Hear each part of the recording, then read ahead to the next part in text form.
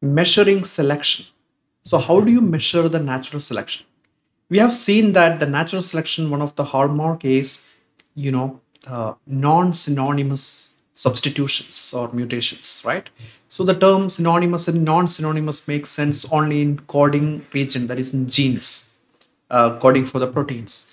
And if the substitutions are synonymous, that means that amino acid is not changing right silent mutation. While non-synonymous means amino acid is changing and that means the protein sequence will change and that means the protein structure will change the secondary and tertiary structure. That will have impact on the protein's function right? So many of the complications right? If it is non-synonymous. So non-synonymous mutations are uh, one of the driving factors of adaptationist natural selection isn't it? Always natural selection or adaptationist right adaptation drives the natural selection. So to measure selection we know the best option is to count the synonymous versus non-synonymous changes right? So as you know the mutations are quite random within the genes right? If they are you know if they're synonymous we assume that they are selectively neutral. The neutral theory uh, proposed that most of the mutations are evolutionarily neutral because these are synonymous. And non-synonymous mutations are also purifying not really positive selection but these are purifying selection.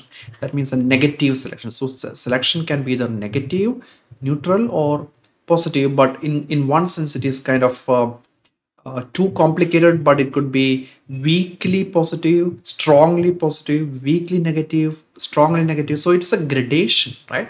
But just to make it more simplified you can say that it uh, the selection is either uh, negative or neutral or positive you see. So yeah so most of the case it is negative. Uh, that is basically the purifying selection. That is a norm in the protein coding region. So we need to get rid of uh, you know the uh, negative or disastrous mutations. To get rid of disastrous mutation is in one sense more important than getting some positive mutations that confers evolution advantages right? So you know so at least we shouldn't degrade in our societies. And if you think of your life it's better to avoid the vices. Like if you smoke or drink stop drinking stop smoking.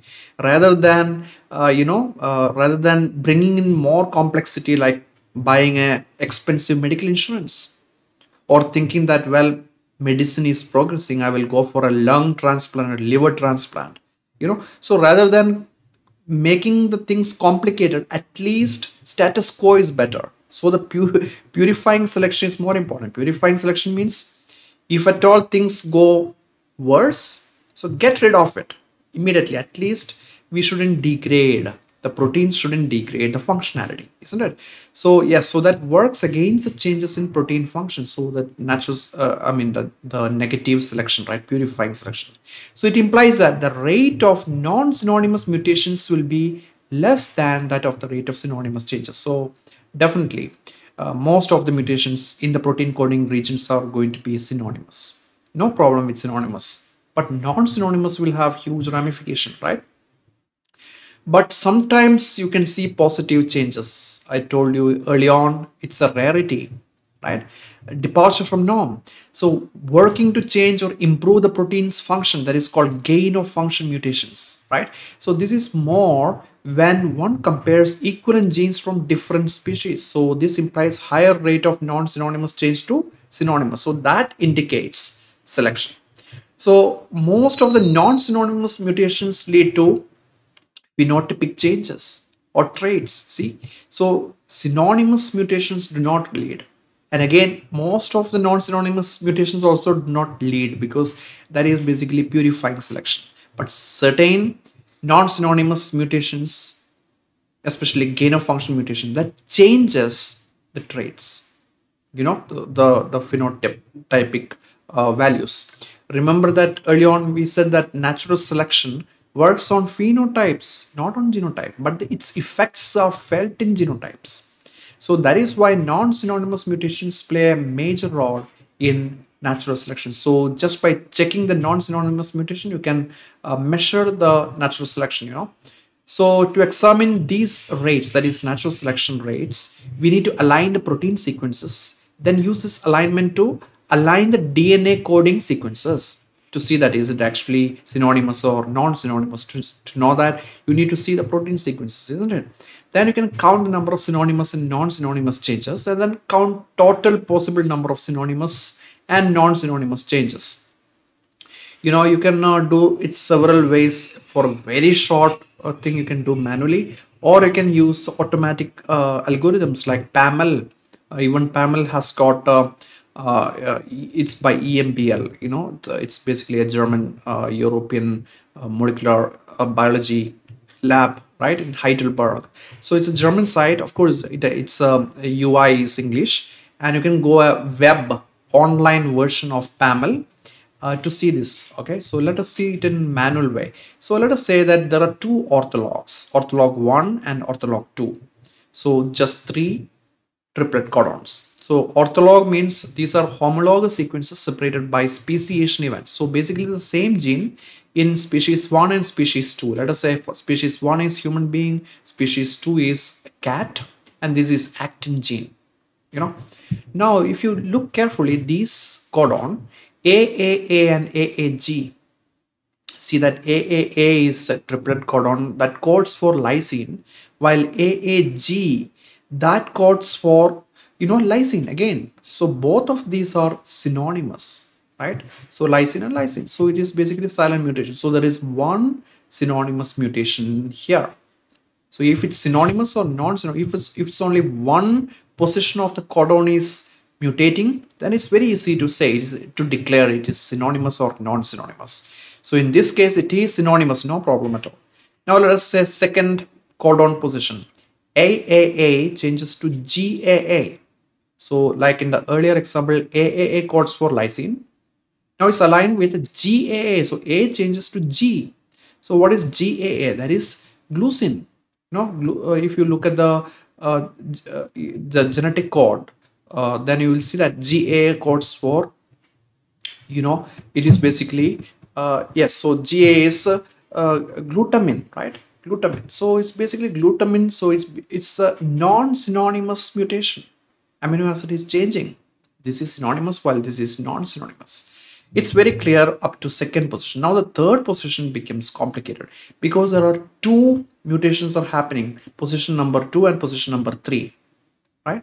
So position number two and position so how do you actually count it? It's it's a little bit tricky. So to see that all possible path you need to find. So for let us say cag from cag to change cgc first position can change first to g then second position or second position can change first to c then first position you know so two paths so path number one is cag to cac see third position changed right? CA, CA is the same thing. CA, G, G changes to C. Then second position changes to G, C, G, C. So in this route or path, glutamine changes to histidine, then arginine. So both of these changes are non-synonymous. There are two non-synonymous mutations here in this path. Now let us consider second path. CAG, that is glutamine, changes to CGG, arginine. Then CGG changes to CGC arginine. So this is a synonymous mutation, but this is a non-synonymous mutation. So that means that in this path, we have one synonymous and one non-synonymous.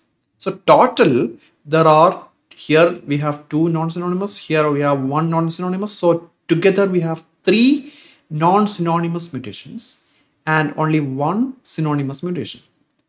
Now on average, this is out of two path. So on average per path, it is basically 3 by 2, that is uh, 1.5 non-synonymous mutation and 1 by 5, 1 synonymous by 5, that is 0.5 synonymous mutation. So that is what average 1.5 non-synonymous and 0.5 synonymous mutation. I hope this is clear to you right? So in total, how many synonymous and how many non-synonymous we have? So let us count synonymous. So synonymous, here it is one synonymous and here we have got another 0.5 synonymous. So it is 1.5 synonymous. How many non-synonymous do we have? It's one non-synonymous and 1.5 non-synonymous. So it's basically 2.5 non-synonymous. I hope it's clear. 2.5 and 1.5. Is it clear up to here? Now all we need to do is a ratio of these two K by Ks.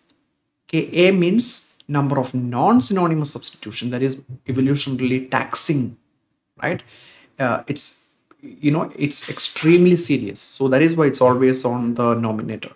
So numerator. So ka is basically number of non-synonymous substitutions divided by then synonymous mutations so synonymous substitutions are on the bottom. So 1.5 divided by 2.5 is equal to 0.6 so just by looking k by ks you will know that is it actually positive selection neutral selection or negative or purifying selection. Now you see that I told you uh, as Motoo Kimura's model, most of the selection is going to be purifying because we want to get rid of the negative, uh, you know, uh, uh, disastrous mutations. So less than one is purifying selection. So it is purifying 0.6. So neutral mutations will have one, you know, uh, approximately one so conserved sequences, purifying selection will have less than one. So this is true for most of the protein coding sequences as per Kimura's neutral theory. And K by Ks is more than one, that is rarity. If you ever see that more than one, then it's, you know, it's a very interesting uh, observation. You can get a very high impact paper, isn't it? So it's a big deal. K by Ks ratio. You can check out this paper I linked up in the the show notes of this video okay? So it's a test for checking assessing the protein coding potential of the genomic regions you know? So that we can uh, we can test it k by ks ratio we can use it. And especially fast evolving regions within the genes will have high k by ks ratio because those regions are under positive selection pressure. So this one is basically a sliding window of the middle codon. If you slide across the gene and then measure for each positions you are measuring k by ks so most of the gene you will see that k by ks is below the cutoff of 1 remember if the k by ks is below 1 that means that it is under purifying selection constraint. So that is normal right? But certain regions of the gene you will see that uh, around uh, 325 there is a peak coming here. So that peak is basically more than one. So this region is under positive selective pressure. So that regions are changing. There is some adaptation happening. So, and again, approximately for uh, 15, you will see another big peak. This region in the gene is also evolving very fast. And then yet another third peak you can see uh, in approximately, uh, you know, 465, uh, another big peak. So the three big peaks corresponds to epitopes. You know, so antigen determining moieties of the uh, uh, antibody, right? Antibody presenting moieties of the antigen is called uh, epitopes. So these are basically evolving so much faster to escape the host antibody. So what you can see here is basically GP120. It is basically the envelope protein 120 uh, that is uh, envelope protein of the uh, HIV. So HIV's proteins, these epitopes are evolving faster rate to evade the immune system. That is what the study says. And it would be quite similar if you look at the SARS-CoV-2, the genome, if you sequence it, certain regions of the genome epitopes are super fast evolving.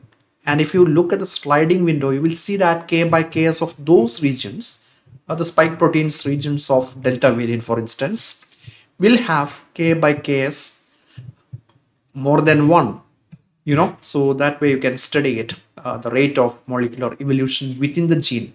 So even within the same one gene uh, the uh, parts of the genes can evolve at different rates. Very exciting isn't it? So we can study molecular evolution for uh, molecular systematics you know so there is a major use of molecular evolution. So we are ending the, the the end of the primer on the molecular evolution see so why we study the molecular evolution? So to, to examine the process of evolution as well as to see the theory of the evolution right? So phylogenetics often use of the numerical data like the numerical taxonomy you know uh, uh, taximetry, which can be scored for the various character states like the size of a visible structure, or it can be the DNA uh, sequence, or is it a uh, you know a parallel venation or reticulate venation, one zero, you know. So yeah, so the trait you can code it or you can use a DNA sequence. So the biggest advantage of DNA sequence is that it's unambiguous. Is it only four possible positions at each of the uh, the sequence, right? A, T, G, or C. There is no, no way like it's in between A and G. That kind of uh, confusion is impossible. So it is highly reliable, right? So similarities and differences between organisms can be coded by a set of characters, each with two or more alternate character states. And another big advantage using the DNA sequence is that you're getting a lot of characters in one go, highly accurate, highly unambiguous. Uh, of course, you can use the traits, the, the morphological traits also, but uh, you know, you will never know that these are, you know, these are really homologous or analogous traits. And it's very difficult to get like a thousand traits together you know in a hundred species. So how how easy it is right? So it's so much easy if you work with the dna sequences. So in an alignment of the dna sequence each position that is column separate the character with four possible character states of four nucleotides you know. So that is why the dna is a very good tool for studying the taxonomy. So that is called molecular systematics isn't it? So it has got several advantages over the classical types of the taxonomic studies because character states are scored unambiguously. There is nothing in between you know. So it is descriptive right? So it is basically you know it is uh, it's not like continuous variable but it's basically you know the the the random variable is uh, a count variable. It is either a t g or c. Only four positions available. Large number of characters can be scored for each individual. Uh, you know you can uh, uh, sequence a whole gene or multiple genes or the whole genome. You know and information on both extent and nature of divergence between sequences is available by looking at the nucleotide substitutions insertions deletions or genome rearrangements if you are looking at the the whole genome level or chromosome level you can see it uh, you know you can zoom in or you can zoom out at various levels that corresponds to the uh, you know what, what kind of study that you are looking at are you studying within uh, the species divergence or between species divergence in the same genus? Or are you looking at higher taxonomic level like a family or order or class? So you can actually use something like a photographer uh, having a, in his bag different kinds of lens, telephoto, zoom lens for you know for uh, reconnoisseur missions. You know if you want to really zoom in, or macro lens if you really want to close up shots very nearby like a like a flower or an insect you need to use macro. So you know that, that is the beauty of the dna sequence. So you can actually zoom in or zoom out depending on what you really want to study you know. So each nucleotide difference is a character but certain position uh, which are actually uh, no change uh, for example a b c d are four different species and each dot represent represent similarity. So that means that one dot here, B has a dot, C has a dot. That means that it's all A, A, A, A. So these all are dot means not change. So these are not really informative positions, right? Or you can also call it as parsimony informative or parsimonious sites, right? So all these are conserved sites. These are not really interesting. What we are looking is very interesting is this position number six. Here the position number six only A has G while B, C, D have got A. So that position is informative in phylogeny. So there is a signal there. While now 7, 8, no signal because all are same, conserved site. Now you can see another very interesting signal in position number 9. And here you can see that T, G, C, A, everything has got its own values. So all these are character that you can you can use it. And the, the sequences reflect the relationship between these species in question, right? So that is what we will see that the relationship because of the shared ancestry. So that is why molecular evolution is really important for classifying the, the species into various taxonomic levels. So after working with sequences for a while, one develops an intuitive understanding that for a given gene, closely related organisms have similar sequences like RBCL. If you look at uh, a certain family, it is all same, you know. So more distantly related organisms have more dissimilar sequences RBCL from uh, different, uh, you know, class of uh, plants will have different uh, sequences, widely diverging sequences. So these differences can be quantified and these uh, differences can be uh, represented in a tree-like fashion, you know, in a phylogenetic tree. So given a set of gene sequences, it should be possible to reconstruct. Reconstruct means we are actually, uh, we are, it's a simulation study, isn't it? You are actually thinking how the evolution happened in past. The evolution relationship among the genes and among the organisms because genes you're using it as a proxy for organisms. And organism you are taking it as a proxy for the species right? So you can see the relationship between the, the species here. For example human frog fly and corn just by looking at the sequences and where they are differing. So number two here means that frog and human beings are separated by number two and number eight positions. Number two and number eight because a a c c look at that frog and fly right? Uh, that is the second position and number eight you can see that number 8 G T G G so T the frog is different from the rest at the position number 8 and human is different from the rest by position number 2 because you can see the number 2 human has an A while frog fly and corn right corn have got an A here so that is why here you can see that the corn is also having number 2 here so that way you can actually model it so how do you actually construct this tree so we have got several algorithms for it right? Neighbor joining, for example, or ML or BI, maximum likelihood or Bayesian inference, we will, we will come to it in a short while. So what sequences to study? Different sequences accumulate changes at different rates. So we have to choose a level of variation that is appropriate to the group of organism being studied. You know, so that is uh, that is called the tortoise and hare approach. Tortoise means very slowly evolving regions, especially genes, are good for higher taxonomic level, like class or phyla, isn't it? Uh, division for plants. While fast evolving regions, the hare regions, very fast evolving like intergenic spacer, are very good for very low taxonomic levels like species or infraspecific or intraspecific both are synonymous terms. Within species diversity is good if you look at fast evolving regions you know. So proteins or coding dnas are constrained by natural selection better for very distant relationship. You know the you can look at the proteins for a highly distant like a very high taxonomic rank like kingdom level you can look at the proteins now for dna sequences some are highly variable like rna spacer region or immunoglobulin genes even genes can be highly variant or intergenic spacer or internal transcribed spacer ideas, while others are highly conserved like actin or rRNA coding regions, you know.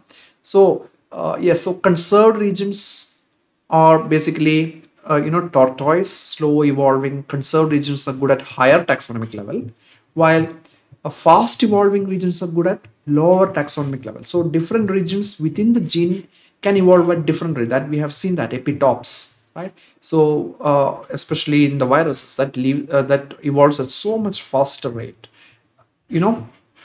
And also the domains of the protein uh, certain domains are conserved domain especially in the hairpin loops you know uh, of even for the, the RNA secondary structure. The, the, loop regions where there is a complementary base pairing are highly conserved because if one change, you need to have a compensatory mutation the other also. Otherwise, the secondary structure will be hampered. While the loop regions, uh, uh, you know, that uh, regions which are not really forming the loop, the stem regions are conserved while loop regions are not conserved because if there is one change no problem uh, it can change without much affecting its secondary structure, right? I hope it's clear. So we study the mitochondria and chloroplast genome, especially for plants, right? Of course, only for the plants, chloroplast genome is available. So the reason is that these two organelles are useful for the evolution study because of several reasons. So first one is that organellar genomes have relatively small size so it can easily be sequenced easily right uh, compared with the, the nuclear dna it's very very small. And it has very high copy number. So copy number means so many copies of the same uh, genes are there. So it's very easy to get amplified. The pcr easy to work with the pcr you know because the copy number is very high. And they're very well organized and discrete units of inheritance right?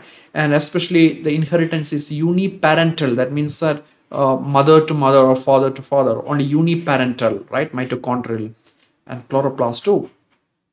And recombination events are very less right? It's not constrained with the, the recombination event. So all these things are really good uh, that makes it mitochondrial chloroplast genomes uh, to study with evolutionary studies right?